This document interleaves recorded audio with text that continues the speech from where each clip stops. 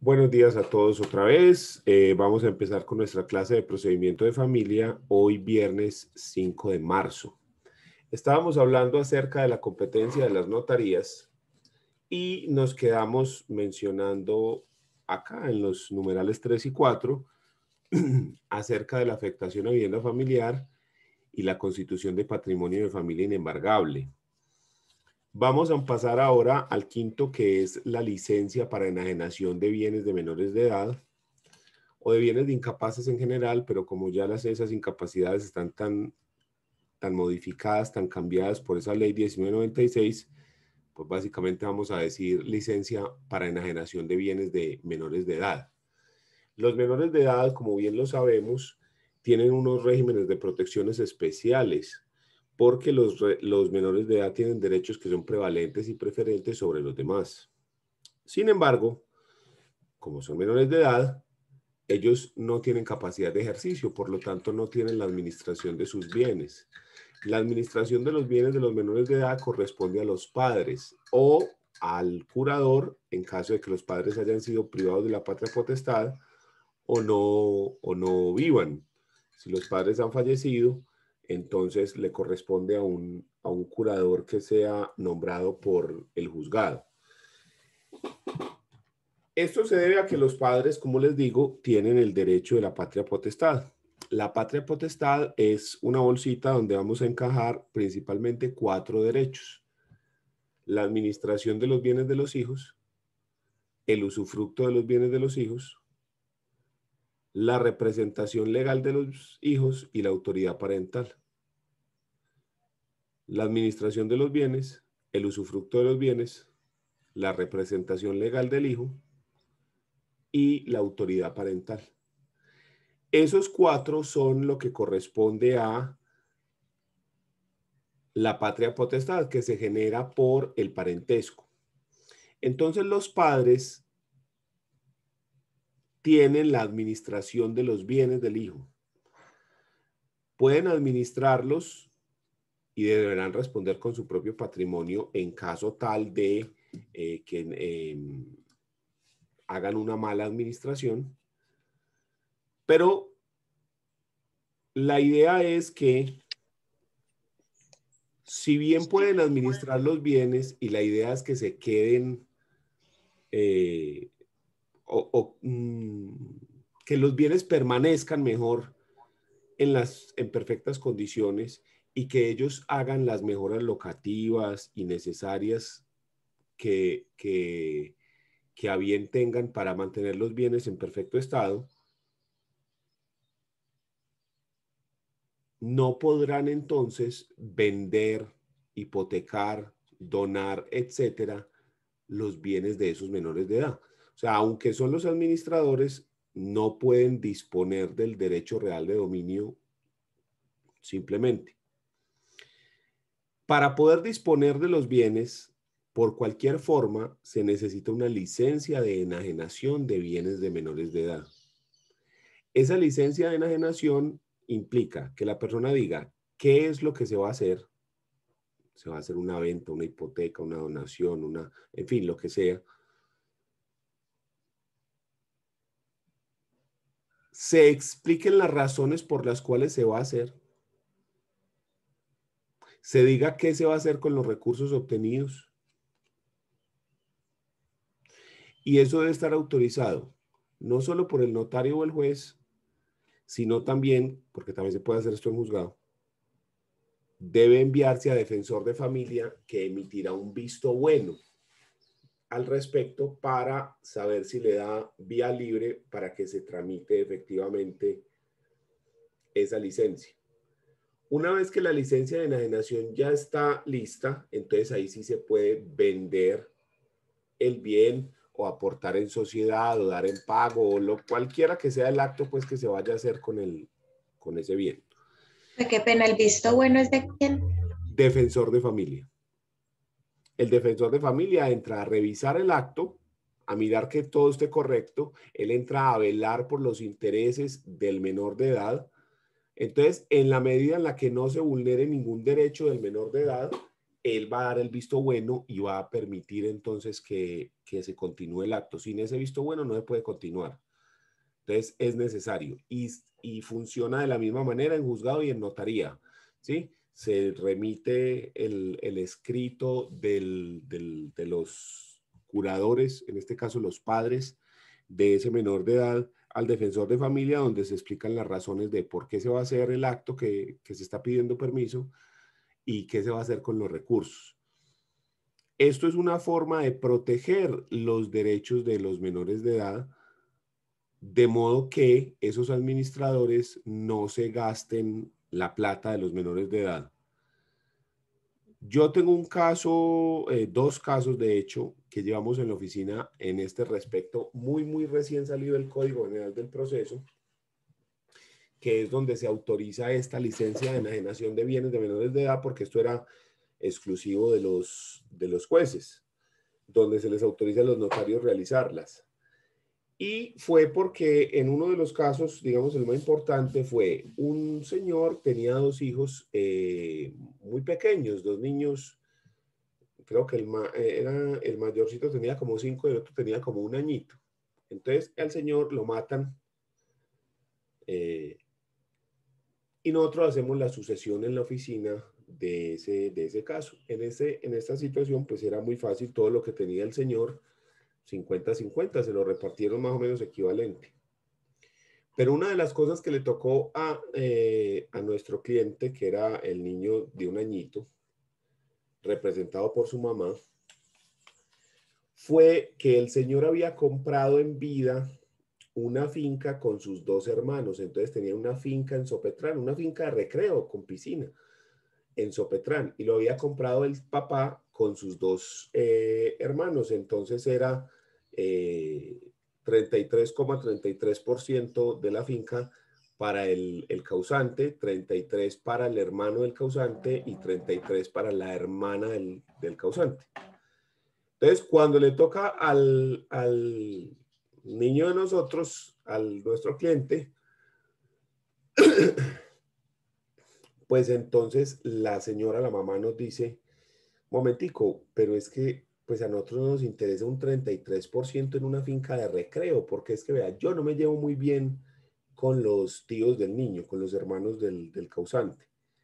Entonces, para yo ir a esa finca, para que el niño la disfrute, para que no, y fuera de eso, pues una finca de recreo no produce sino gastos, eso no produce nada. Una finca de recreo es de las peores inversiones que usted puede hacer, a menos de que uno sea pues eh, muy, muy rico. Sí, porque una finca de recreo usted tiene que pagarle quien la cuide, tiene que pagar impuestos, tiene que pagar eh, eh, mayordomo, tiene que pagar a alguien que pode, si tiene piscina, que los químicos de la piscina, el mantenimiento del motor, etcétera, etcétera. O sea, una finca de recreo es un gasto y a ellos no les interesaba. Y fuera de eso, si no había relación con los tíos que eran los que tenían el 66% de la finca, pues peor, imagínense el caso. Entonces la señora dice, hombre, no hay ninguna posibilidad de que les vendamos ese derecho o algo y nosotros comprar otra cosa con eso, pues, o sea, invertir en eso. Entonces hablamos con los tíos, los dueños del, de la finca. Y ellos dijeron, ah, pues sí, qué bueno, porque si a nosotros tampoco nos interesa estar en comunidad con esa señora, o sea, con el sobrino. No hay problema. Dame un segundito que hay un alumno que tiene un problema. Dame un segundo. Ya, qué pena. Era que tenían un problema aquí con la con el link de la clase, pero ya le envié el link de nuevo. Entonces nos dicen, hombre, a nosotros no nos interesa esa, esa situación, porque es que eso pues a la hora la verdad es, va a ser un gasto y va a ser un problema. Nosotros queremos que hablemos con esta gente y les y mirar a ver si, si les podemos vender ese pedazo. Hablamos con ellos, los tíos nos dijeron, sí, a nosotros no nos interesa, mm, no nos interesa tener comunidad con la señora. El, con el sobrino no tenemos problema, pero, pero nosotros nos llevamos bien con el señor. Entonces, eh, efectivamente ellos dijeron, sí, nos interesa comprarle. Y en total eran como 150 millones o 200 millones. Sí, yo creo que, creo que eran como 200 y pico millones. La partecita de ellos. La finca costaba en total como 600, 700 millones, algo así. Hicimos la licencia de enajenación y entonces dijimos que eh, la idea era coger ese dinero y comprar nuevos bienes para el menor de edad.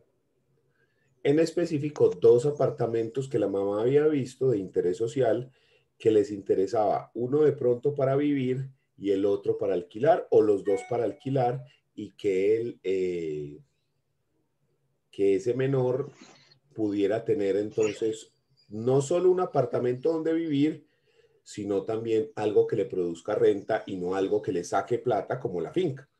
Entonces, el defensor de familia estuvo de acuerdo, dijo, sí, me parece correcta la inversión, y el notario nos dio la licencia de enajenación para poder realizar este acto, el cual se realizó, creo que fue en la notaría segunda, tercera de Envigado.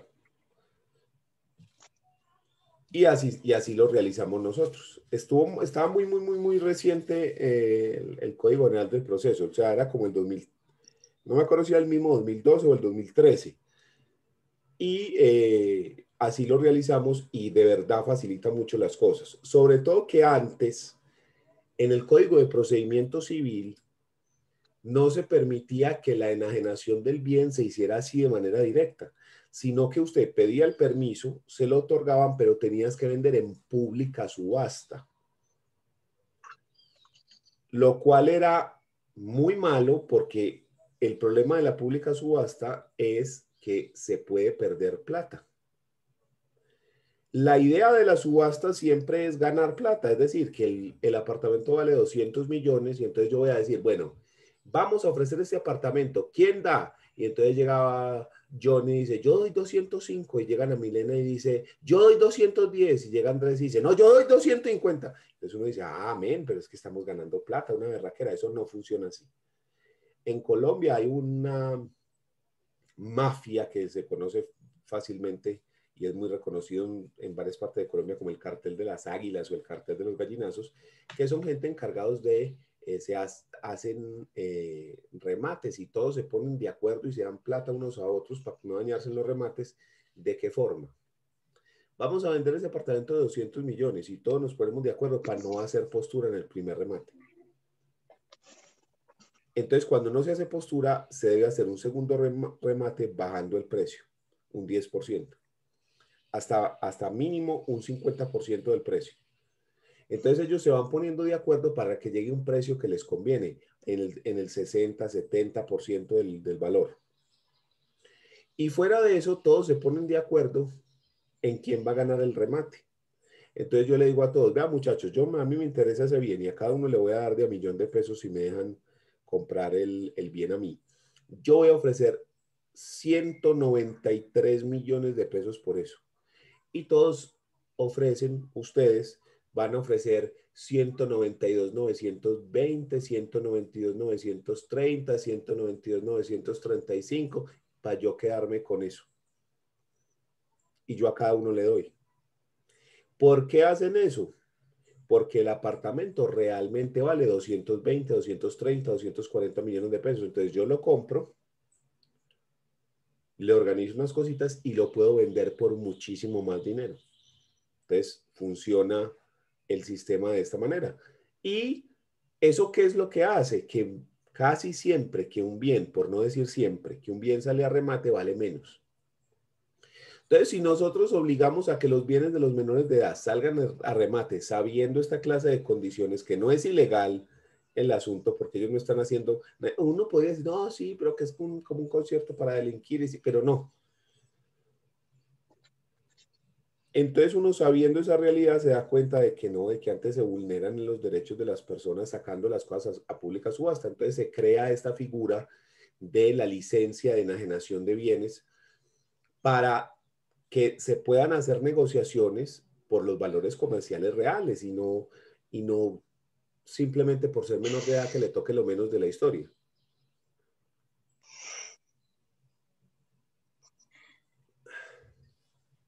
Entonces, esa es, la, idea detrás de la licencia de enajenación de bienes de menores de edad. También el nombramiento de consejeros o administradores de bienes según estas nuevas leyes como la 1996, que ya lo que nombra son apoyos, o la anterior a esa, que era la que hablaba de los consejeros o administradores. También se cargan las notarías de recibir los testamentos abiertos o cerrados. Un testamento abierto es el que se presenta en una hoja o que va y se le redacta al testamento, al, al, notario en su presencia. Entonces se le dice, señor notario, mi testamento es el siguiente, es mi voluntad, ta, ta, ta, ta, ta, ta, ta, y se le hace la redacción de qué es lo que se quiere. ¿cierto? Eso se hace frente a cinco testigos, eh, tres testigos. ¿sí? Entonces se le dice, vea, yo quiero esto y esto y esto y esto y esto y esto y esto, esto. Eso se vierte a una escritura pública y se llama abierto porque, como su nombre lo indica, la escritura pública es pública. Entonces, un testamento abierto que cualquier persona puede acceder a él y puede leerlo. El testamento cerrado se da porque eh, mm, Llegamos a la notaría y no le decimos al juez, al notario, señor notario, tome nota y le narramos, sino que le llegamos con un sobre escrito. Se le llega con un sobre sellado y se le dice, aquí adentro está el testamento. El notario mete eso. Qué pena con ustedes.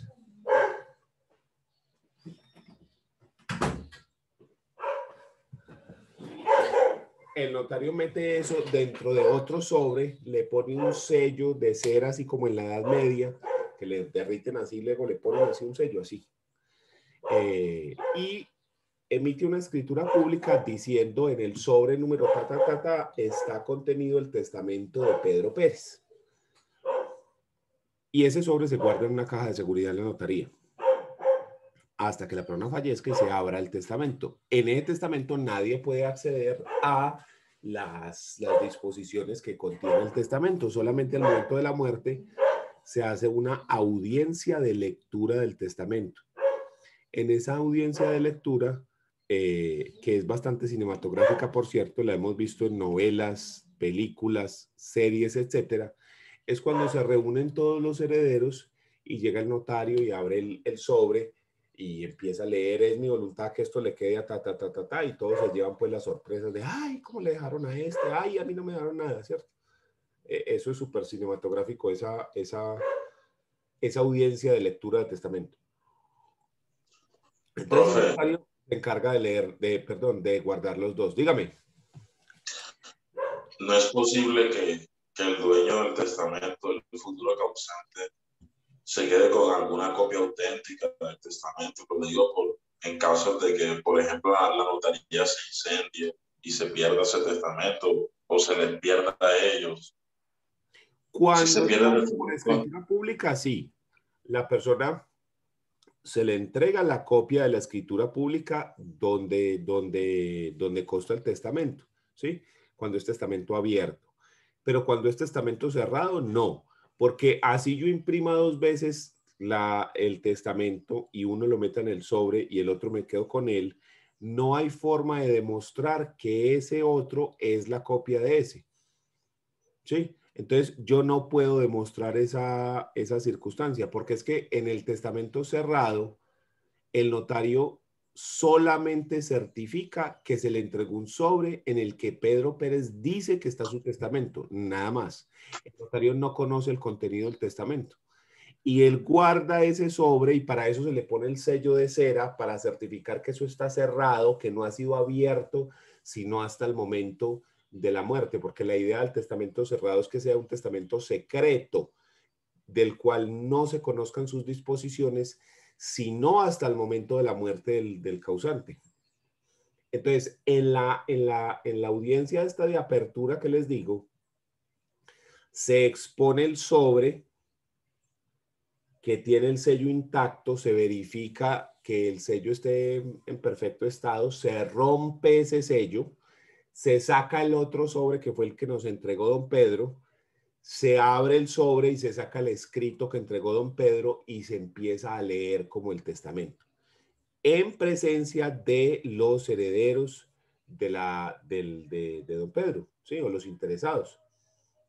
Entonces, así es como, como se hace. Esa es la, la, la, la mecánica. Entonces, en ese orden de ideas es imposible que usted quede con copia de eso. Si se incendia la notaría, jodidos. Esperemos que en la caja... Sería una, de la notaría, no se queme de resto. Ya sería una sucesión intestada. Sí, sí, sí. Gracias, profe. Si en cambio en el otro, pues al menos a usted sí le entregan copia y cualquier persona puede buscar una copia. Entonces, bueno. Entonces, esos son los testamentos abiertos y cerrados que se otorgan ante notario. Y tenemos como ocho a las capitulaciones matrimoniales.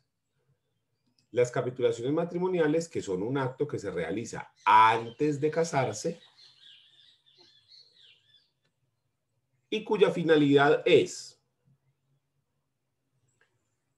establecer que no se va a formar sociedad conyugal o sea, que dentro de ese matrimonio no se va a formar la sociedad conyugal, de modo que los bienes adquiridos por uno por otro siguen siendo propios.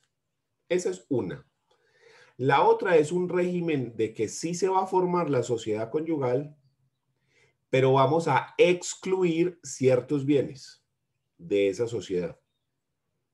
Y la tercera es que vamos a incluir algunos bienes dentro de esa sociedad.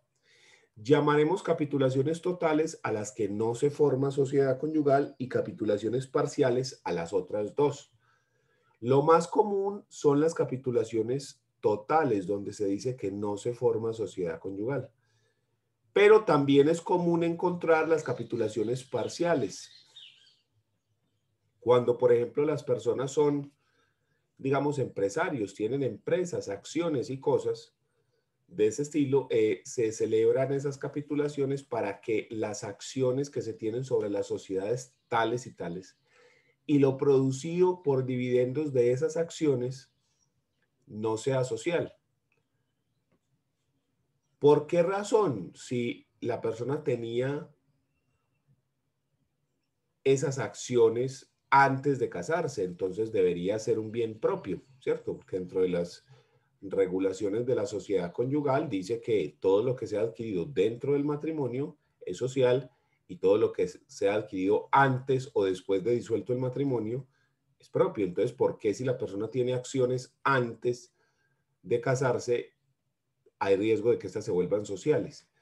Y es por la figura del haber relativo. El haber relativo implica que todos los bienes muebles sin importar su naturaleza o cuándo fueron adquiridos, se presumen sociales. Y las acciones son un bien mueble. Entonces, sin importar cómo y cuándo fueron adquiridos, entran a la sociedad conyugal. Gravísimo. Entonces, por eso les digo, muchas veces las personas así con empresas y demás, que sean accionistas en varias partes, o ganaderos también, porque aplica lo mismo para las reses, lo que hacen es em, unas capitulaciones parciales y solicitan que se excluya del régimen de sociedad conyugal las empresas tales y tales y tales y además eh, lo, lo, que produzcan esas empresas, los dividendos, porque los dividendos, que es dinero al fin y al cabo, también sigue la misma suerte por el haber relativo y se vuelve social. Entonces usted encuentra eso, eso de las capitulaciones. No es muy común, no es muy común que la gente eh, firme capitulaciones, pero digamos que por unos cada 10 divorcios, por ahí hay tres que tienen capitulación, capitulaciones y hay que saberlos manejar. Porque si usted va a hacer un divorcio, y hay capitulaciones totales, con el divorcio basta. No hay que liquidar sociedad conyugal porque esa nunca se formó. Pero si son capitulaciones parciales, sí es necesario hacer divorcio y también la liquidación de sociedad conyugal, exponiendo cuáles son los bienes sociales y cuáles son los bienes propios, bien sea por las capitulaciones o por otras condiciones. Entonces, he ahí el asunto de las capitulaciones se tienen que hacer por escritura pública y solamente se pueden hacer antes de celebrarse el matrimonio. Una vez celebrado el matrimonio, no se pueden modificar y no se pueden celebrar nuevas capitulaciones para que tengan eso ustedes siempre súper presente. Se requiere obligatoriamente que sean en escritura pública. No nos sirve en escrito privado autenticado. Tiene que ser escritura pública. ¿Listo? Y asimismo, como se forman las capitulaciones matrimoniales que son antes, se debe hacer el matrimonio civil, la celebración del matrimonio civil. El notario entonces tiene las facultades para la realización del matrimonio civil. Se puede celebrar en la notaría, dentro de la oficina de la notaría, o se puede celebrar por fuera. Si se va a celebrar, digamos, en un eh, salón social, entonces se le avisa al notario, él cobra una tarifa especial por desplazarse hasta ese sitio, incluso en la noche, y el notario va con eh, sus sellos y con un documento preelaborado donde simplemente se limita a decir, bueno, estamos aquí reunidos porque Daniel se quiere casar con esta señora Patricia y entonces él lee pues la escritura pública de matrimonio y eh, firman las dos personas sello y quedaron casados, ¿sí? Generalmente cuando se hace así en, en, en, en lugares especiales, pues el, el, notario no es tan, tan seco, los notarios hacen una celebración, pues una una reunión bastante interesante que se parece más como a la celebración del matrimonio católico. Incluso algunos leen algún aparte de la Biblia, si son católicos los contrayentes o de cualquier otro libro, o incluso de, de algún poeta o alguna, o alguna declaración así, como para ambientar un poquito la cosa y que no quede eso como tan simple, como tan, como tan pelle pues el asunto. Pero entonces sí, el notario va y les dice, aceptan ustedes casarse, estas condiciones, ta, ta, ta, ta, firman y quedaron casados. Luego de ese matrimonio se hace el registro del matrimonio en el registro civil, en el, en el, en el libro de matrimonio se hace el registro civil de matrimonio que contiene pues eh, la información de los contrayentes, las fechas y, y, lugar de celebración del matrimonio e incluso contiene una anotación para saber si hay capitulaciones o no de ese, de ese matrimonio. ¿Listo? Entonces, así es como funciona el matrimonio civil, la celebración del matrimonio civil en notaría. Lo que les digo, se puede hacer en la notaría o se le paga al notario una tarifa especial porque se desplace siempre que sea dentro de su área de competencia. Recuerden que los notarios tienen un círculo notarial que es, digamos, eh, su área de competencia. Entonces, los notarios de Medellín es en Medellín, los de Envigado en Envigado y así sucesivamente.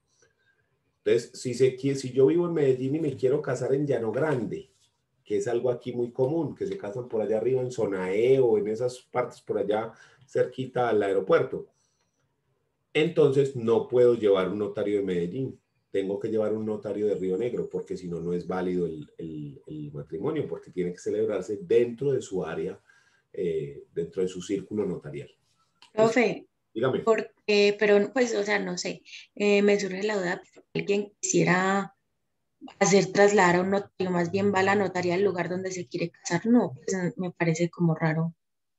Sí, lo que pasa es que si usted quiere que el notario lo case en el, en el sitio, en el, en el lugar donde se va a hacer la, la fiesta, que eso sí pasa mucho, que están haciendo... Ah, ya, sí. O sea, se refiere que sea por fuera de una notaría. Ah, ya, ya. Exactamente, exactamente, exactamente. Sí. Incluso, déjenme, yo busco aquí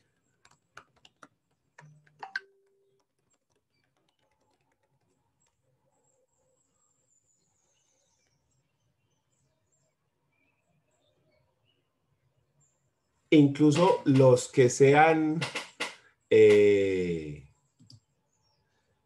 de mi misma edad o más viejitos, o si han tenido mucha suerte, ustedes se acordarán del Chavo del Ocho, ¿sí o no?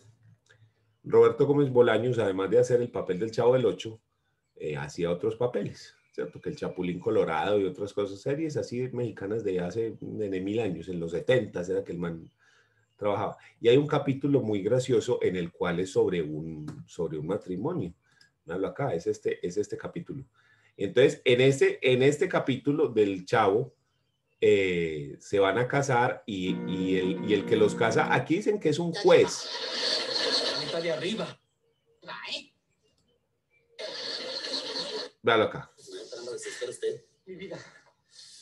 este Entonces, el, el, el, tipo este va al lugar, a la fiesta, al, al, sitio donde tienen, y ahí empieza a celebrar el matrimonio y, y, y, los casa, ¿cierto? Entonces, pues es muy gracioso porque entonces el otro empieza a interrumpir y toda la cosa, y, y al final los deja, es que el avión de la luna de miel, y se arma pues el, el zaperoco, que porque él interrumpió, pero eh, que el avión se estrella, entonces que, que, que, fue el salvador pues de la noche. Pero entonces es eso, esa, esa es la escena eh, que te digo, que la gente quiere que se haga eso así en, en, el, en, el, en el salón. Y hay que pagarle pues un poquitico más al notario y hay que darle su pedazo de torta y su, y su copa de champaña también, porque el man no va a ir hasta allá sin llevarse su pedazo de torta tampoco, así sea que se lo empaquen en aluminio, mira. Pero así es, yo he, yo he asistido ya a algunos matrimonios y he asistido a dos, dos o tres que fueron así con, con el notario en el salón. Interesante el asunto.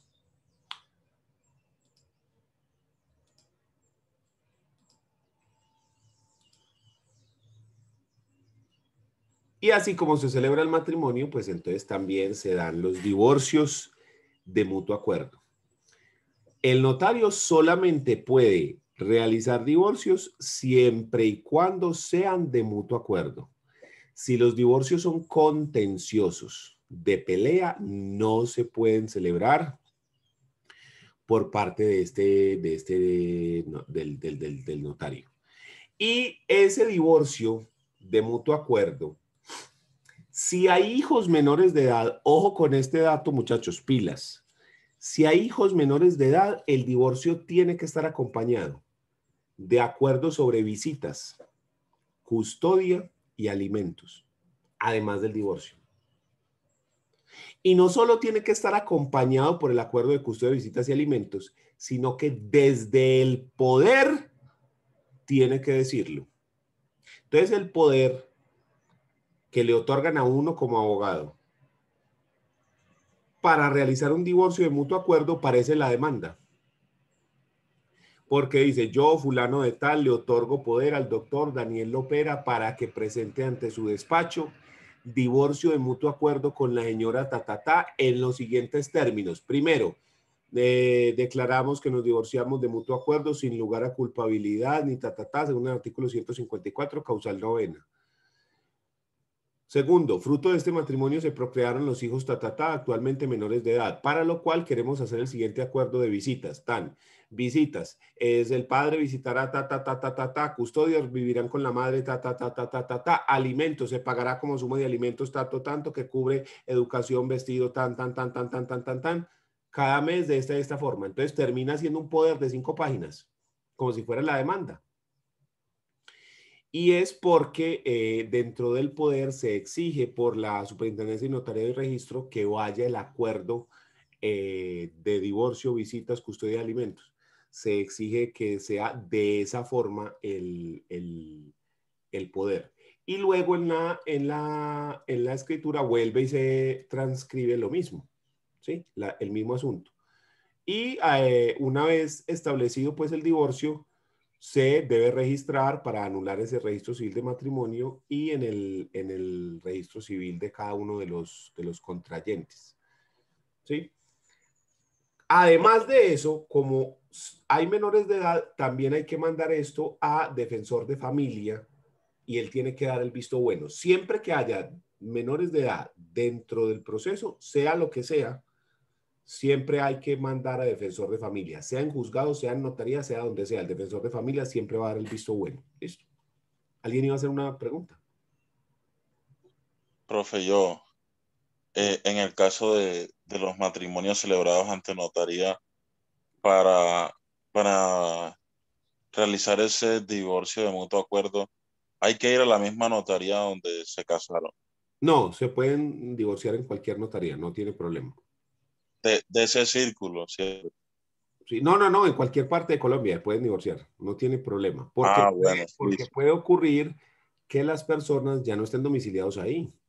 Entonces, acuérdese que para establecer la competencia en caso de divorcio, decimos que será competente el juez, en este caso notario, del último domicilio de la pareja, si al menos alguno lo conserva. Si al menos uno de los dos cónyuges conserva ese domicilio. Si no, si cada uno vive por aparte, puede hacerse en el domicilio del demandado. En este caso no hay domicilio del demandado, o sea que puede hacerse en el domicilio de cualquiera de los dos cónyuges. Entonces, ¿qué pasa si se casaron aquí en Medellín? Pero eh, el señor se fue a vivir a Bogotá y el señor quiere que se haga el, divorcio en Bogotá, no tiene problema. ¿Sí? Lo que sí es que se registra en la misma notaría donde se registró para que ahí eh, se elimine el registro civil de matrimonio y se, quede, y se cree pues la anotación en el registro civil de cada una de esas personas diciendo que mm, ya están divorciados. ¿Listo? Listo, profe, gracias. Entonces, eso frente a lo que es pues el, divorcio. Y así como venimos hablando de la del, matrimonio, pues también hablamos de la unión marital de hecho, ¿sí? El eh, notario hace la escritura pública, que se llama escritura pública declarativa de unión marital de hecho, donde los compañeros permanentes declaran que eh, han formado una, una unión marital de hecho y desde qué día y cuáles son sus efectos. Listo. Eh, este es para los que no se quieren casar. El problema es que está creado como una escritura pública que parece una escritura pública de matrimonio. Entonces uno dice, hombre, pero si la persona no se quiere casar precisamente por no, por no realizar toda la parafernalia, pues no tiene mucho sentido que hagan una escritura pública en el mismo sentido como si fuera un, un matrimonio. Pero pues ahí está si por cualquier circunstancia los compañeros permanentes quieren declarar que lo son, que son compañeros permanentes eh, y que han formado una unión marital desde el día X, pues pueden ir ambos compañeros permanentes y hacerlo mediante escritura pública. Listo. Seguimos. Dígame. Una pregunta, qué pena. Eh, para capitulaciones en uniones maritales, de hecho, se deben realizar antes de configurarse los dos años. Sí, se dice que las capitulaciones, a diferencia de las matrimoniales, que las capitulaciones maritales se pueden realizar incluso ya estando empezada la, convivencia, porque es un acto pues diferente al, matrimonio. Pero sí, sí se pueden eh, realizar. Listo, profe, gracias. Y se hacen igualitas que las otras, es decir, se tienen que hacer por escritura pública y se hacen con las mismas funciones. Sería exactamente igual, solo que cambia el, el nombre, ¿sí? Que ya no se van a llamar capitulaciones matrimoniales, sino capitulaciones maritales, pero de resto son exactamente las mismas, ¿ya?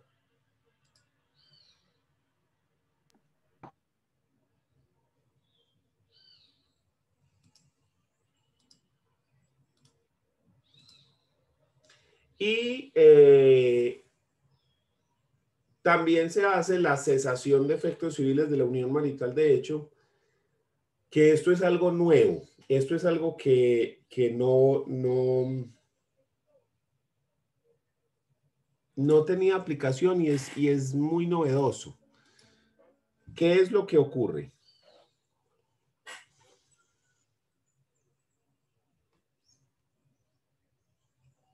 Cuando se celebra el matrimonio, como el matrimonio es un acto formal, para la terminación del matrimonio también se necesita un acto formal, porque en derecho las cosas se deshacen como se hacen. Entonces, para ese acto formal llamado matrimonio, donde el cual se celebra un contrato matrimonial ante un notario, un juez o un ministro religioso especializado,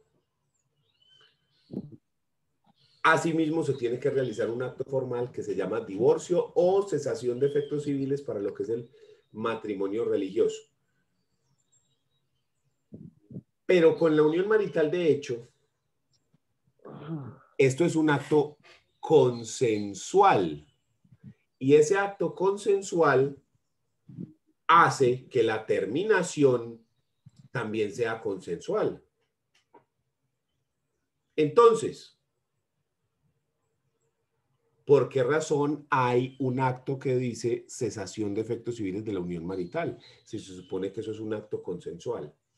Esto se debe a que la unión marital, como está concebida hoy en día, no es un Estado civil. No lo es. ¿Por qué no lo es? Una sencilla razón. Los estados civiles tienen una reserva legislativa. Es decir, que solamente pueden ser creados, modificados o extinguidos por el legislador. Y el legislador no ha sacado una ley donde diga que la unión marital de hecho forma un estado civil. Es decir, todos sabemos que sí lo forma. Todos sabemos que sí es un estado civil. Todos lo tenemos supremamente claro. Pero no hay una ley que nos corrobore eso. Si no hay una ley y se dice que los estados civiles solamente pueden ser creados, modificados o extinguidos por el legislador, pues entonces no es un estado civil, punto.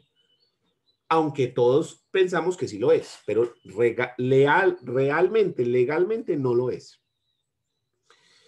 Entonces, hace algunos años, en una sentencia de la Corte Suprema de Justicia, una sola sentencia, ni siquiera tres, una, se menciona por parte de uno de los magistrados que la unión marital de hecho se asemeja al estado civil de casados. Dice que se asemeja, no dice nada más. A partir de ahí se empezaron a crear una cantidad de teorías diciendo que el Estado civil, perdón, que la unión marital de hecho es un Estado civil. Y entonces empezó a actuar de una manera muy extraña en Colombia porque nosotros somos un país exégeta, para que no digamos pendejadas, ¿sí? Un país que se fija en la raya, punto, coma, el artículo, el inciso, el numeral. Nos gusta tenerlo todo así, pero súper regulado. Y sin embargo acá llega un magistrado y menciona, esto se asemeja al estado civil de casado y a partir de ahí todo el mundo dice, ah, listo, ya es un estado civil. Y empezamos a actuar conforme. Entonces empiezan los jueces y los notarios que si usted va a hacer, por ejemplo, una sucesión y tiene un compañero permanente, le empiezan a uno pedir el registro civil de la unión marital de hecho. Y uno, pero, pero espérate, ¿cómo que registro civil? Si no hay sino registro civil de matrimonio el otro no existe. No, pero ¿cómo que no? Si es un estado civil, tiene que estar registrado civilmente y entonces empezó a generar un problema con eso y entonces empezaron a exigir registros civiles. Y de hecho hoy en día se hace en el libro de varios. Pero por si fuera poco, después de eso se dijo, no, momentico, pero entonces si hay registro civil, entonces debe haber también una cesación de efectos civiles. Claro, porque entonces necesitamos saber cuándo se termina. Entonces, no, no, es que es un acto consensual, entonces cuando las partes quieran que se vayan y, se acaben y cada uno para su casa y entonces, ah, no, no, no, no, pero eso hay que verterlo a escritura pública porque es un acto formal. Pero no solo eso, sino que vamos todavía más allá. Y entonces hoy en día estamos diciendo que se pueden aplicar las reglas de el artículo 54 de 154 del Código Civil y las reglas del 411 frente a alimentos. Deben un segundo. Pregunta, ¿usted no está grabando? Ah, ya. Sí, ya. Entonces, eh, en, el mismo, en el mismo orden de ideas, pues, se ha creado esa, esa idea de que, de que son un estado civil las uniones maritales. Lo cual, vuelvo y repito, todos sabemos que sí. Todos sabemos que tienen todos los efectos y es igualito tal que un Estado civil. Pero si nosotros ponemos la regla de que los Estados civiles solamente los puede crear el Congreso, pues entonces, a ver, ¿para qué pusimos la regla entonces? Sí, yo sí soy frente a eso. Es decir, si tenemos una regla que dice eso, pues hay que respetar lo que dice la regla. Pues para eso la creamos. Si no, pues entonces no, entonces fijémonos en otra regla, pues o sea, creemos otra regla, ya decimos que los estados civiles se pueden crear de cualquier forma. Listo. Entonces, se puede hacer hoy en día una cesación de efectos civiles, así como se hace para el matrimonio, que se hace la cesación de efectos civiles del matrimonio religioso o el divorcio, porque en realidad es lo mismo, pues, para el matrimonio civil. Pero frente a la unión marital, sí. Y entonces se habla de que incluso podemos hablar de las mismas causales del artículo 154, que es el artículo que nos habla de las causales de divorcio, y que podemos incluso extenderlo hasta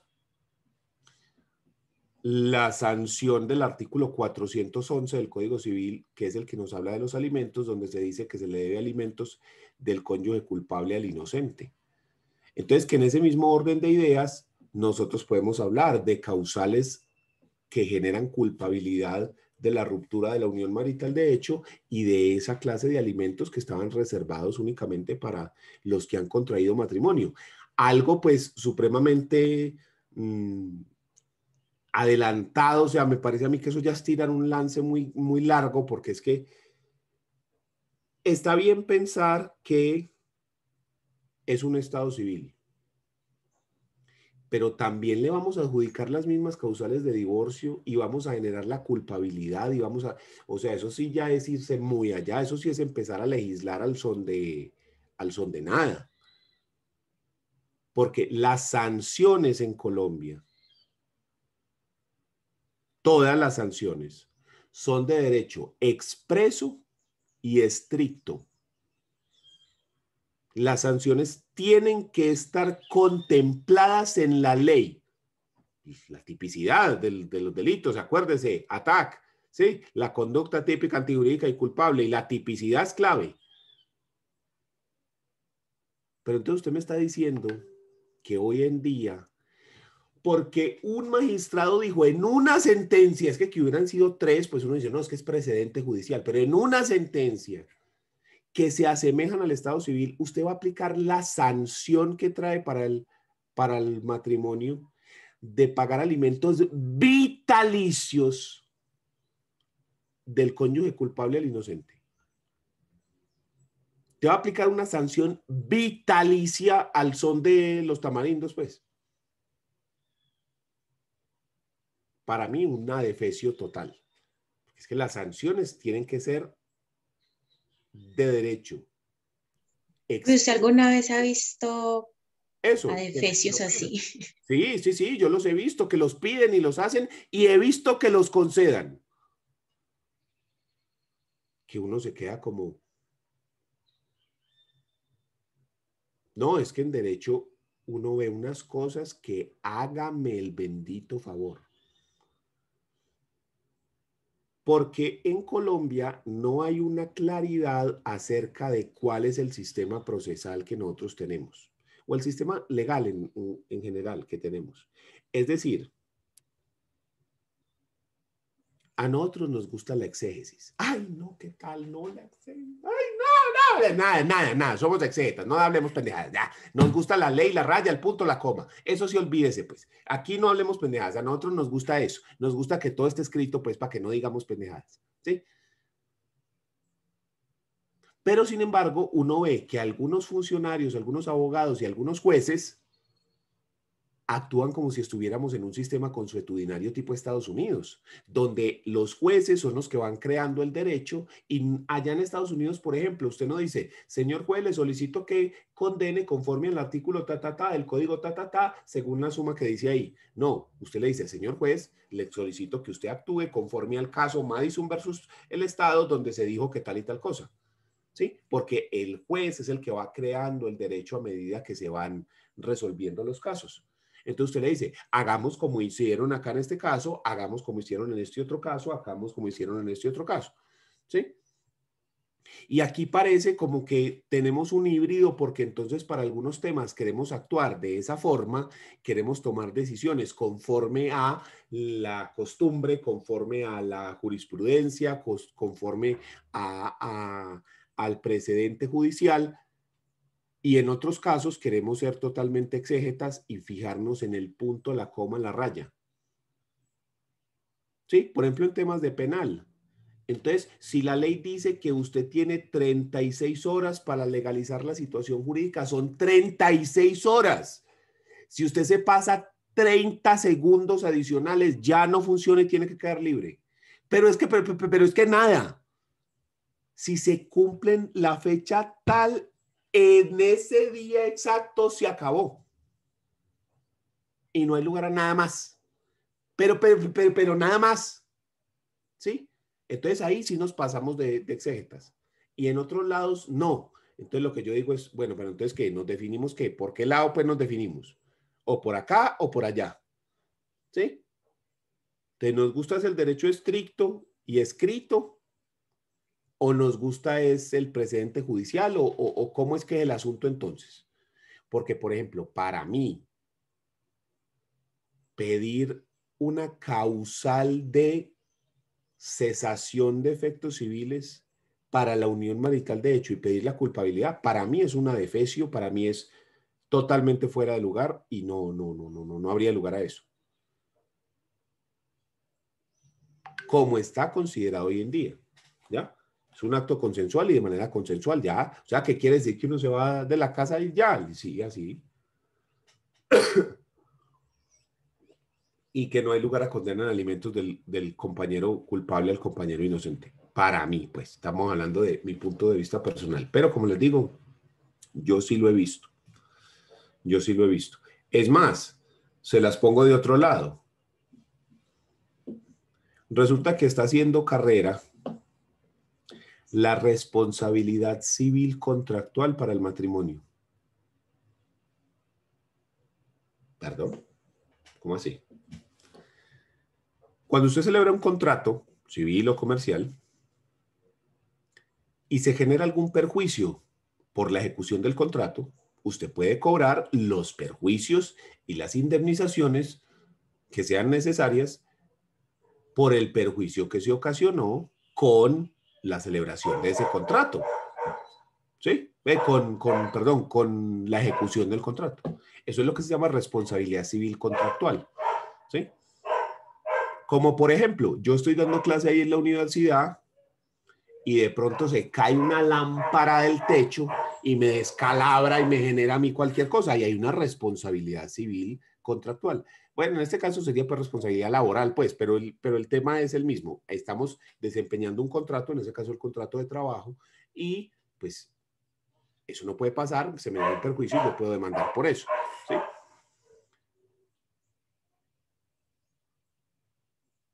Y en el mismo sentido se ha dicho, un momentico, el matrimonio es un contrato. Y como contrato que es el matrimonio, ¿quién quita que yo no pueda demandar por una indemnización de perjuicios si usted rompió el contrato? Y usted es culpable de romper el contrato. Y entonces ha hecho carrera de que además de poder cobrar la, los alimentos que se deben del, del, inocente al culpable, se pueda pedir indemnización de perjuicios cualquiera que hayan sido causados con la ruptura del matrimonio. Yo sinceramente me quedo con eso pues así como, pero lo he escuchado, o sea, es algo que es, que está haciendo carrera por ahí. Pero bueno. Eso no sería como sancionar lo mismo dos veces, porque para eso no están las sanciones, o sea, eso no, eso qué. Pero le digo pues que lo he visto. ¿Sí? Entonces, a ver, busquemos aquí en Google a ver si me aparece algo. Responsabilidad civil por el divorcio.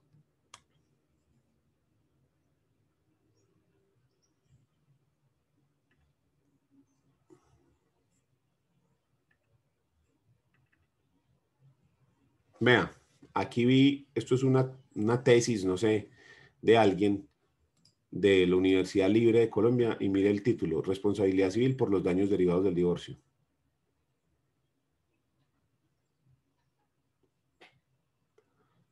¿Sí? Entonces, o sea, lo que le digo, no es un tema eh, loco. Y miren aquí en Safari, vea, responsabilidad civil por los daños, la Unilibre, este, este es el artículo. Eh, ¿Esto qué es? Responsabilidad civil derivada del divorcio. Pagar la, pagar la culpa, matrimonio, divorcio y responsabilidades. Esto es un artículo científico del externado. Ah, el artículo es del externado, ya. Vea, de cielo, que también es otra eh, base de datos científica. Daños y perjuicios derivados del divorcio. O sea, miren que, vea, ámbito jurídico, vea. O sea, es, es, es, o sea, así está, mire, aquí está el artículo, vea, es un artículo científico, vea, publicado acá. Vea, aquí hay otro O sea, es lo que les digo, esto ha hecho carrera. Y entonces vea. A ver, miremos aquí rápidamente qué dice en ámbito jurídico. Dice, en estos días ha estado debatiéndose el tema concerniente a la posibilidad de reclamar la indemnización de perjuicios dentro de los procesos de divorcio de matrimonio civil, de cesación de efectos civiles del matrimonio religioso o de separación de cuerpos, cuando en la relación de familia han ocurrido actos de violencia física o psíquica que han generado algún daño, algún daño al otro miembro de la pareja. El debate lo, suscitó una sentencia de tutela de la Sala Civil de la Corte Suprema de Justicia el pasado 25 de julio. En el miro esto de qué año es, 2017, véalo acá. Profe. Dígame. Eh, haciendo una alusión al comentario que hacía la compañera de la eventual violación al non bis in idem por juzgar un hecho dos veces, pues pienses en un caso en el que el matrimonio se acaba alegando la causal de que la persona eh, está despilfarrando el patrimonio, digamos, porque en apuestas o porque es muy borrachín, pero de otro lado se reclaman perjuicios por violencia física, entonces ahí no habría non bis Ah, sí, sí, sí. Es que mira, mira lo que dice acá, mira. El debate lo suscitó la, la sentencia del pasado 25 de julio, la cual dijo, Aun cuando las normas regulatorias de los trámites de divorcio y de cesación de efectos civiles del matrimonio o por la terminación abrupta de la, de, la, relación de pareja, no existe un capítulo específico dedicado a la indemnización por menoscabos sufridos, para resolver este vacío meramente aparente se debe acudir a la cápite relativo a la responsabilidad civil, siguiendo los principios, valores y derechos que postula la Carta. En esta providencia, la Sala Civil reconoce que únicamente el canon 148 del, del, Estatuto Sustantivo Civil obliga al cónyuge de mala fe cuando dio lugar a la nulidad del matrimonio a indemnizar al otro todos los perjuicios que le haya ocasionado. En la sentencia la Corte hizo lo que llamó su propia interpretación, ojo con esto, desde los artículos 2341 y siguientes del Código Civil, basada en la supremacía de las normas constitucionales, para no desamparar al cónyuge compañero permanente o compañero de víctima, perdón, de la intempestiva, irregular o arbitraria ruptura del vínculo jurídico que lo ata con el otro, integrante de la relación obligatoria causante del finiquito. En la ratio decidente instruyó que los jueces deben analizar las causales de divorcio probadas para determinar si hay lugar a decretar alguna medida resarcitoria a favor del consorte que percibió algún daño por la ruptura del vínculo marital ocasionada por su expareja. Y agregó, están facultados los juzgadores a adoptar disposiciones ultra y extra petita, óigame esta belleza, conforme se autoriza en el parágrafo primero de la regla 281 del Código Penal del Proceso. Óigame esta belleza, están facultadas para adoptar disposiciones ultra y extra petita, si no se lo hayan pedido. Entonces ahí es lo que le digo yo, espérese, espérese. Entonces, ¿cuál es el sistema en el que vivimos, papá? Es decir, los jueces crean el derecho y vamos a estar en un sistema como en Estados Unidos, donde se va creando el derecho a medida que se van dando las relaciones, que no hay problema. Estados Unidos funciona desde hace, desde 1776, que son un estado, digamos, independiente. Entonces uno dice, listo, bueno, allá ha funcionado. Y ese no es el único país del mundo, pues, que tiene un sistema así. Entonces uno dice, listo, ok. Y allá funciona, listo. Si vamos a pertenecer a ese sistema, listo, pertenecemos. Pero es que nosotros venimos de un sistema diferente. Nuestro sistema es netamente escrito, basándose, basándose en lo que está escrito. Entonces aquí me parece a mí que se están haciendo unas interpretaciones que, que, que, que, que esperes un momento. ¿sí? Te respondo. Resulta que hay violencia intrafamiliar, ¿cierto? Y la causal de divorcio es violencia intrafamiliar. Una cosa es el castigo que produce el penal o que, o que persigue el, derecho penal por la comisión de una conducta consagrada dentro de la ley como delictiva. Y entonces ahí se impondrán unas sanciones privativas de la libertad o económicas o las que contenga el, el, el código penal, ¿ya? Pero además de eso, está la circunstancia del divorcio. Entonces, ¿qué se ha dicho en materia civil?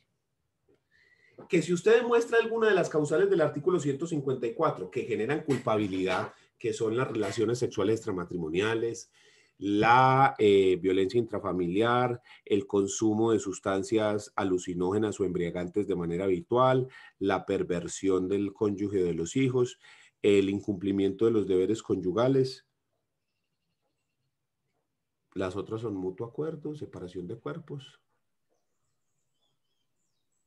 Pena privativa de la libertad, creo que. Ah, no, enfermedad grave incurable. Y siempre me olvida la otra. ¿Cuál? La de, la de el patrimonio, que no sé cómo es que se llama. Bueno, entonces, las otras que le mencioné son las, las que generan culpabilidad. Entonces, ¿qué es lo que pasa? Se ha establecido que en el caso de que usted demuestre cualquiera de esas que generan culpabilidad, vamos a decir la violencia intrafamiliar.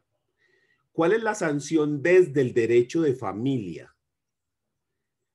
el pago, la condena en alimentos vitalicia del cónyuge, inocente, del cónyuge culpable al inocente. Entonces, yo le tengo que pagar unos alimentos vitalicios a la persona a la que le realicé, pues, digamos, ese mal, ¿cierto? Esos alimentos vitalicios no dependen de la necesidad del alimentario, porque cuando hablamos de cuota alimentaria, siempre que se hable de cuota alimentaria, se analizan dos presupuestos, la necesidad del alimentario, la necesidad de los alimentos y la capacidad de pago. Si desaparece la necesidad, yo no tengo que pagar. O si desaparece la capacidad, yo no tengo que pagar. ¿Sí?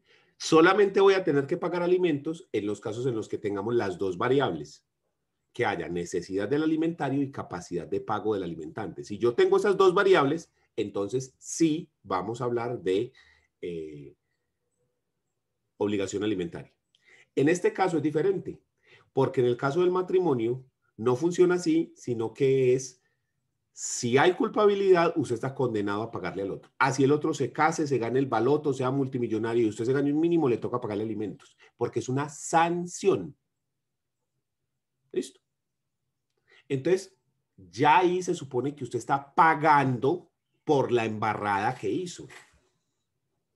Esa fue la sanción que a usted se le impuso por haber puesto esos cachos, por haberle pegado, por haber hecho eso. Además de que si en el derecho penal pues se, llegaron, se llevó pues a cabo un proceso y hubo sanción de otra naturaleza. Pero usted me está diciendo que además de eso le va a poner a la persona a resarcir los perjuicios que se hubieran causado.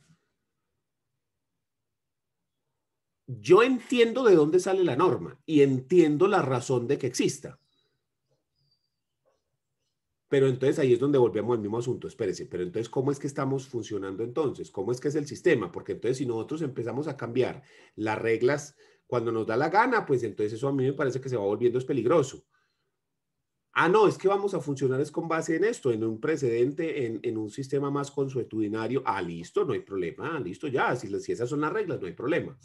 Yo lo entiendo por qué, porque vamos a suponer que es violencia intrafamiliar y la persona golpea a la persona y le genera unas secuelas, le genera unos, unos, un daño moral y todo. Sí, pues uno podría hablar perfectamente de una indemnización por responsabilidad civil contractual. Al fin y al cabo es un contrato también. Entonces, e, el punto es ese, que no hay claridad al respecto. Se puede resolver con una ley, ya. Si sacamos una ley donde se diga eh, cuáles son las sanciones y cómo se tasan y qué es lo que se puede pedir para ciertas causales. Perfectamente. Perfectamente, se puede hacer. Pero ahí les dejo pues esa, esa perla de qué ocurre. Y estamos hablando del matrimonio, que tiene unas causales claras, que tiene unas sanciones claras. ¿Y la unión marital qué? Si nosotros extrapolamos eso a la unión marital, entonces ¿qué? Responsabilidad extracontractual. Entonces hablamos de responsabilidad civil extracontractual, porque no es un contrato, sino es un acto consensual. Ah, espéreme. Y entonces usted podría pedir cosas como la pérdida de oportunidad. Porque como yo me rejunté con usted, perdí la oportunidad de rejuntarme con...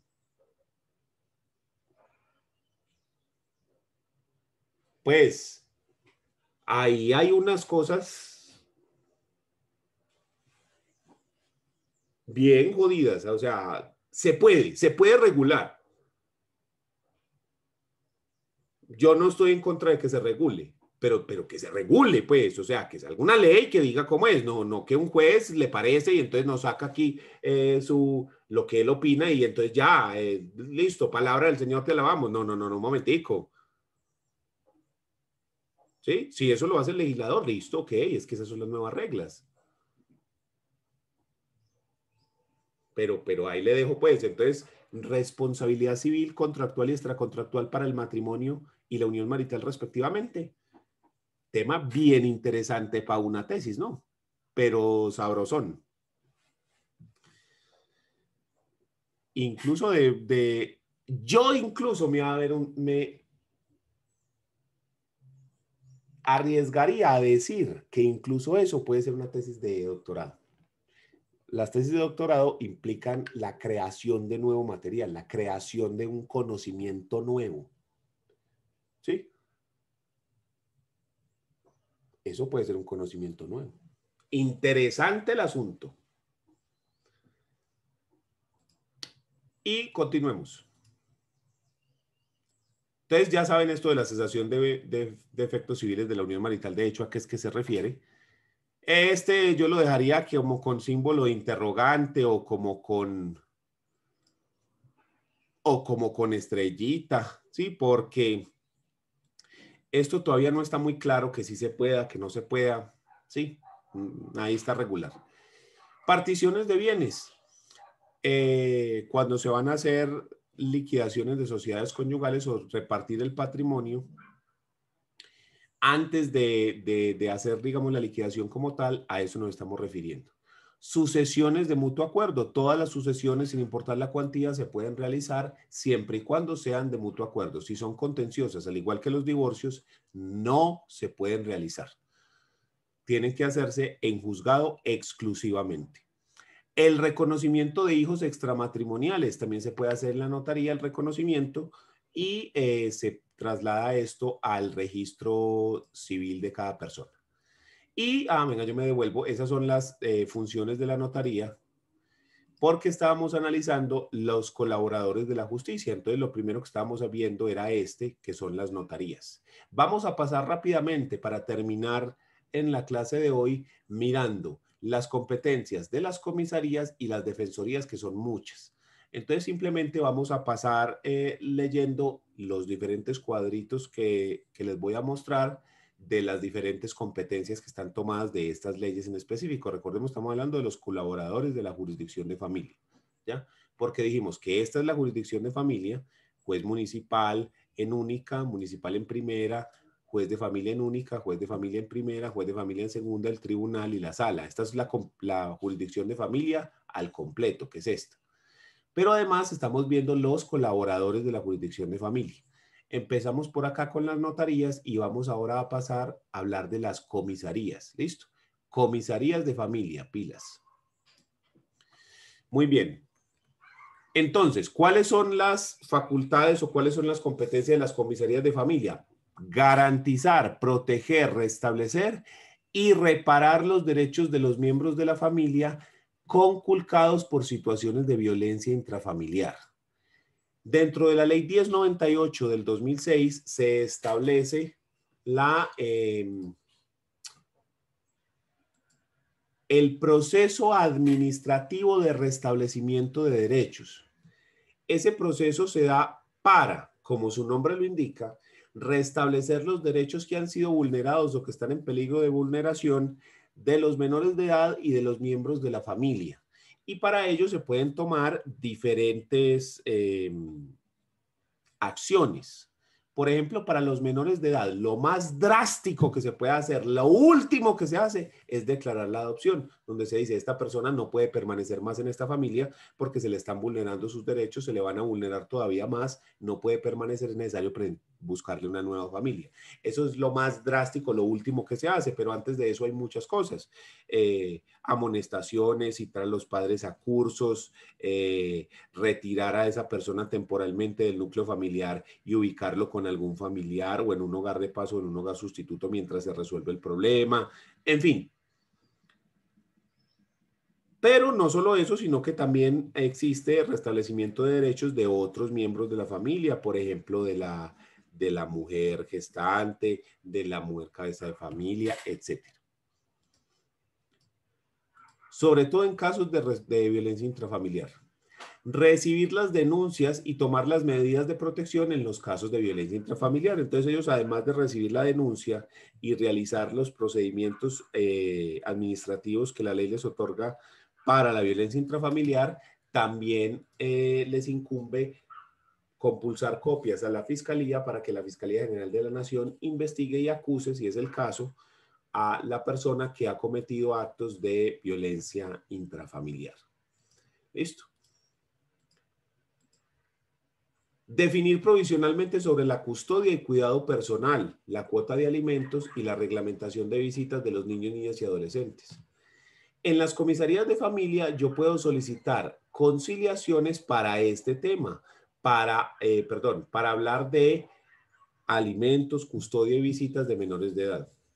¿Qué pasa si se pide una conciliación en comisaría, pero los padres no se ponen de acuerdo? Ellos tienen un conflicto muy fuerte y no, no se pusieron de acuerdo ni en los alimentos, ni en las visitas, ni en nada. Entonces ese comisario tiene la potestad de establecer unas visitas y unos alimentos provisionales. Mientras eso se resuelve en juzgado, él va a fijar unos eh, límites o unos parámetros para ver cómo se realizan esas visitas, cómo está regulada esa custodia, cómo se deben pagar esos alimentos de manera provisional hasta que el juez de familia, bien sea que eh, ratifique lo mencionado por el defensor o las modifique, modifique el régimen de manera sustancial. ¿sí? pero entonces él tiene la, facultad de establecerlo de manera provisional.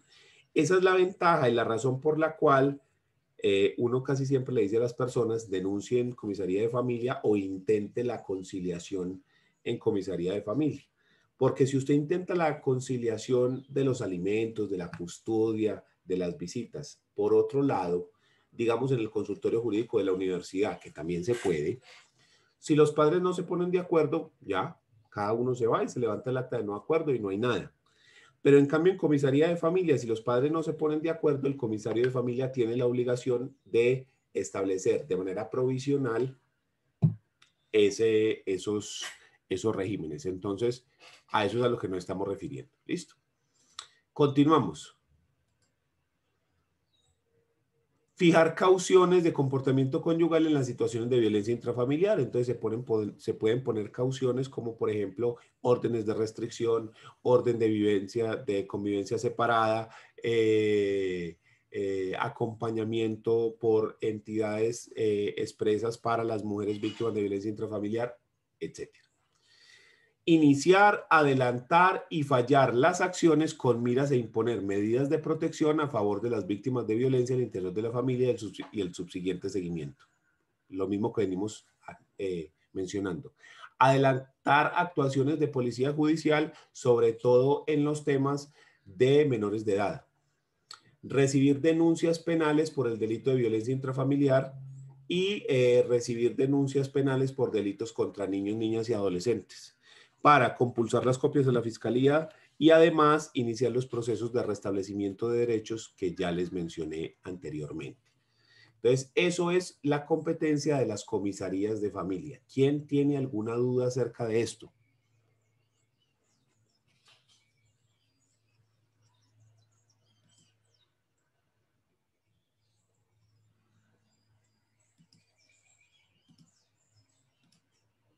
Muy bien, entonces ese es el segundo, ¿cierto? Estamos acá en, uy, estamos acá en las comisarías de familia. Ahora vamos a hablar de la defensoría de familia.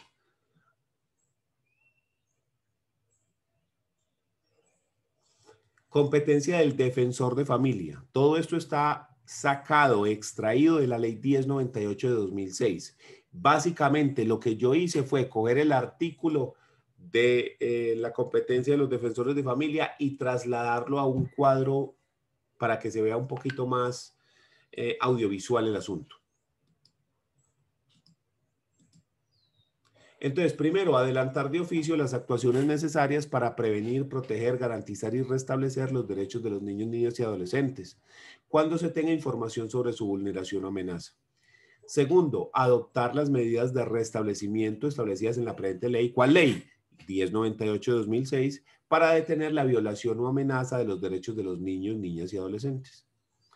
Emitir los conceptos ordenados por la ley en las actuaciones judiciales o administrativas, cuando en los juzgados se les solicita al defensor de familia que emita un concepto acerca de, por ejemplo, la salud mental y física de una persona o que emita un concepto técnico acerca de, de X cosa, ¿cierto?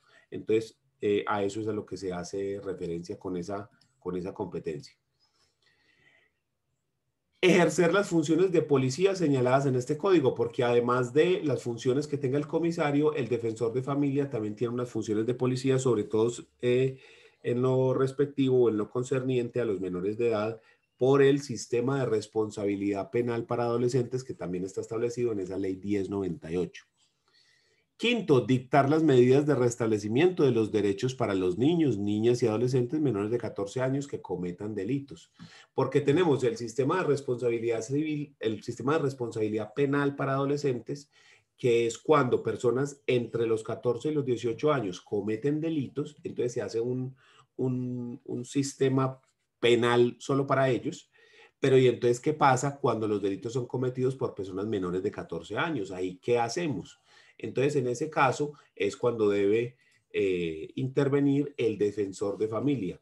Porque cuando hay un menor de edad, menor de, 10, de 14 años que comete delitos, no se busca penas privativas de la libertad ni castigo para esa persona, sino restablecer los derechos, porque se dice que si ese niño está robando, matando o haciendo cualquier otra cosa, pues es que a él se le han vulnerado los derechos para que esté en esa circunstancia, para que una persona esté robando en la calle de menos de 14 años es porque algo no está funcionando, ¿sí? Quinto, dictar las medidas de restablecimiento de los derechos para los niños, y adolescentes Sexto, asumir la asistencia y protección del adolescente responsable de haber infringido la ley penal ante el juez penal para adolescentes. Entonces ellos actúan dentro de ese proceso para garantizar los derechos de ese, de ese adolescente, que son las personas mayores de 14 y menores de 18. Séptimo, conceder el permiso de salida del país a los niños, niñas y adolescentes cuando no sea necesaria la intervención del juez.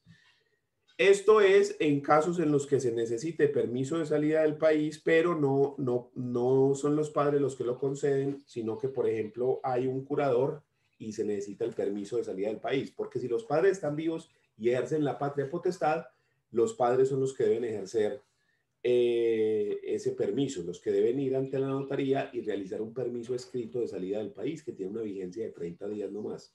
Y para salir del país se presenta Migración Colombia en el aeropuerto o en la terminal donde se vaya a salir.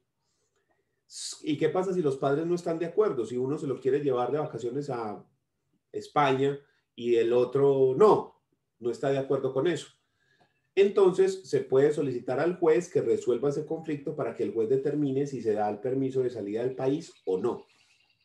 Pero existen otros casos donde eh, es necesario un permiso de salida del país, pero el juez no puede actuar dentro del, del proceso. Entonces ahí es cuando nos referimos a este punto. Octavo, promover la conciliación extrajudicial en los asuntos relacionados con los derechos y obligaciones entre cónyuges, compañeros permanentes, padres e hijos, miembros de la familia o personas responsables del cuidado del niño, niña o adolescente. Conciliaciones en este aspecto. Noveno, aprobar las conciliaciones en relación con la asignación de custodia y cuidado personal del niño, el establecimiento de relaciones materno o paternofiliales, la determinación de cuota alimentaria, la fijación provisional de residencia separada, la suspensión de la vida en común de los cónyuges o compañeros permanentes, la separación de cuerpos y de bienes del matrimonio civil o religioso, las, las cauciones de comportamiento conyugal, la disolución y liquidación de la sociedad conyugal por causa distinta de la muerte del cónyuge y los demás aspectos relacionados con el régimen económico del matrimonio y de los derechos sucesorales sin perjuicio de la competencia atribuida por la ley de los notarios. ¿Qué es eso? Ahí es donde está la competencia de ese visto bueno que yo le estaba diciendo, de esa aprobación que le estaba diciendo. Ese es el punto. Entonces, básicamente, siempre que hayan menores de edad dentro de un proceso, se tendrá que ir al defensor de familia para que él apruebe o, por el contrario, niegue ese visto bueno acerca de cualquiera de estos, de estos temas que, que hemos mencionado. Décimo, citar al presunto padre con miras al reconocimiento voluntario del hijo extramatrimonial nacido que esté por nacer y en caso de producirse extender el acta respectiva y ordenar la inscripción o corrección del nombre en el registro del Estado civil. 11. Promover los procesos o trámites judiciales a que haya lugar en defensa de los derechos de los niños, niñas y adolescentes e intervenir en los procesos en que se discutan los derechos de estos sin perjuicio de la actuación del Ministerio Público y de la representación judicial en la que haya lugar. 12. Representar a los niños, niñas y adolescentes en las actuaciones judiciales o administrativas cuando carezcan de representante o este se haya ausente o incapacitado, o sea, la agente o amenaza de, o sea, agente de la amenaza o vulneración de derechos. 13. Fijar una cuota provisional de alimentos cuando no se logre la conciliación. 14. Declarar la situación de adoptabilidad en que se encuentre un niño, niña o adolescente. Autorizar la adopción en los casos previstos en la ley. 16. Formalizar la denuncia, formular la denuncia penal cuando advierta que el niño, niño o adolescente ha sido víctima de un delito. Ejercer las funciones atribuidas en el artículo 71 de la ley 906, que es el Código de Procedimiento Penal. 18. Asesorar y orientar al público en materia de derechos de la infancia, de la adolescencia y de la familia. Y 19. Solicitar la inscripción de un niño, la corrección modificación o cancelación de su registro civil ante la Dirección Nacional de Registro Civil de las personas, siempre y cuando dentro del proceso administrativo de restablecimiento de sus derechos se pruebe el que el nombre y sus apellidos no corresponden a la realidad de su estado civil y a su origen biológico sin necesidad de acudir a la jurisdicción de familia. Listo. Esas son todas las funciones de notarías. Ya las vimos comisarías de familia y defensorías de familia. Entonces, ya con esto completamos nuestro recorrido por estas eh, colaboradores de la jurisdicción de familia. Solamente nos faltan lo referente a eh, centros de conciliación, consultorios jurídicos de las universidades y las personerías municipales, que básicamente estos últimos tres están encargados de celebrar conciliaciones o de eh, representar a las personas o asesorarlas jurídicamente para temas relacionados con derecho de familia. ¿sí? Entonces usted puede, dentro de los centros de conciliaciones legalmente establecidos, conciliar cualquier tema de familia que sea conciliable. ¿Sí? Como visitas, custodias, alimentos, divorcio, liquidación de sociedad conyugal, formación de unión marital de hecho, etcétera.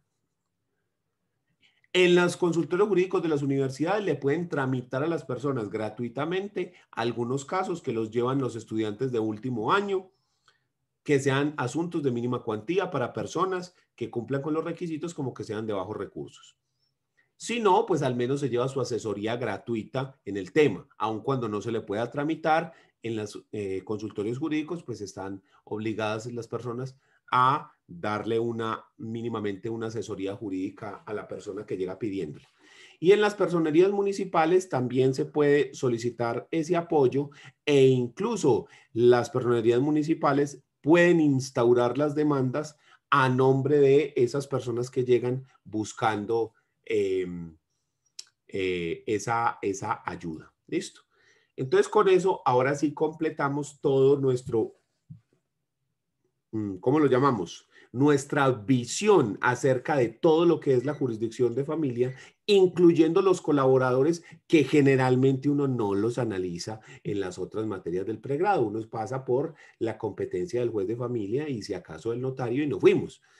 Pero es muy importante que en esta materia que se llama profundización por Dios, pues profundicemos y miremos toda la, jurisdicción de familia en su conjunto y que la analicemos toda.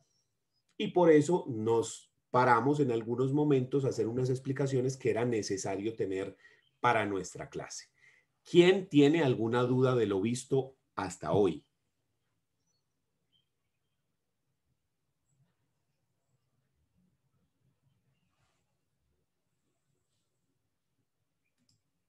Profe, disculpa, yo tengo una duda, pues no, no está como del todo conectada con derecho de familia, pero quisiera saber cómo confluye en el trámite administrativo de violencia intrafamiliar y el trámite penal, pues, si el uno, si son paralelos, si el uno es pues primero que el otro, si se puede terminar un Son paralelos y persiguen cosas diferentes.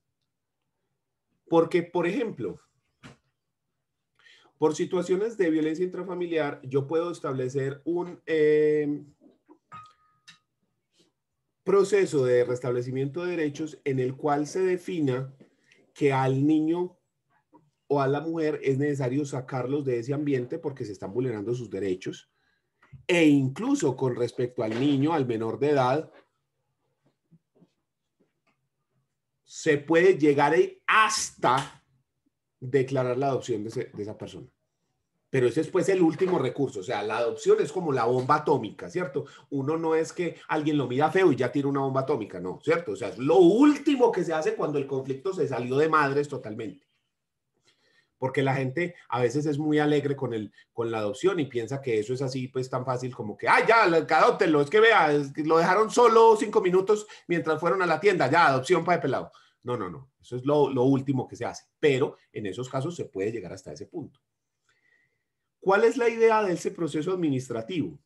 Como su nombre lo indica, restablecer los derechos, es tratar de resolver el conflicto, tratar de que los derechos que le han sido vulnerados se le restablezcan o que no se vulneren si era que estaban en peligro de vulneración, tratar de prevenir daños que se pudieran causar o de remediar los daños que ya se están causando o de al menos de prevenir que se sigan causando y tratar de eh, solventar los que ya se causaron. ¿Y cuál es la finalidad del proceso penal? Mirar si se cometió un delito conforme a la ley y proceder a imponer el castigo que la ley consagra para ese, para ese asunto. ¿sí?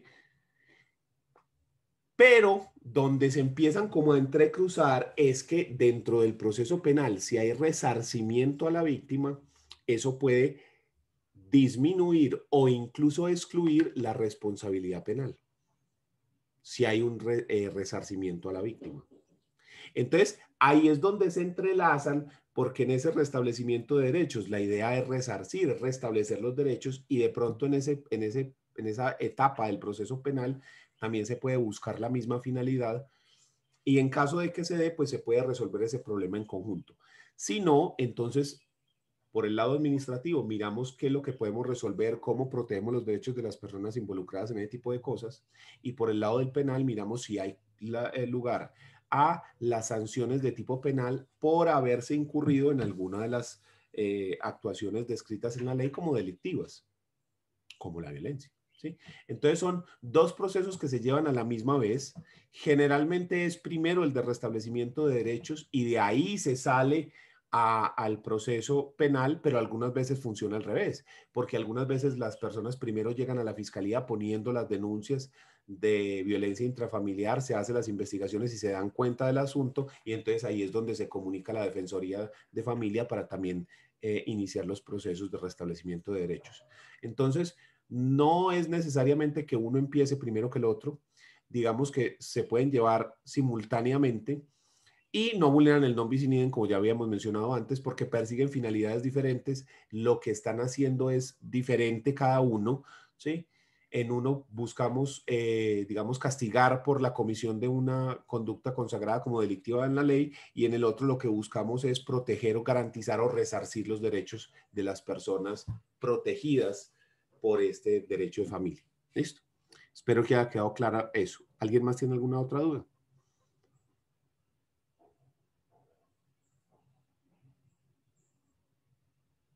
No, profe, por ahora no. Bueno, entonces dejamos ahí, nos vemos la próxima semana y ahorita más tardecito eh, monto la clase a YouTube. Listo. Chao, muchas gracias por la atención. Listo, profe, hasta luego igualmente.